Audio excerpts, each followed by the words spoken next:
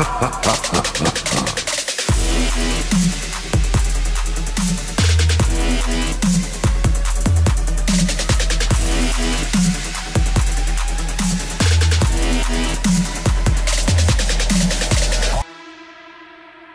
Leute, am 8. und 9. August gibt's am Bärwalder See, südlich von Berlin, unser Kite Junkie Festival.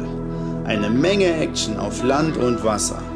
Testet das neueste Material von Flysurfer, Norse, Core, Future Kiting, MBS und weiteren Marken.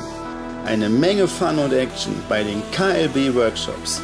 Wir machen einen Kite Foil Workshop, einen Wu Jump Contest und wir machen eine KLB-Show. Also kommt vorbei, testet, probiert es aus und habt Fun. Am 8. und 9. August 2015 am Bärwalder See. Alle weiteren Infos unten in der Videobeschreibung und unter kitejunkie.com. Wir sehen uns.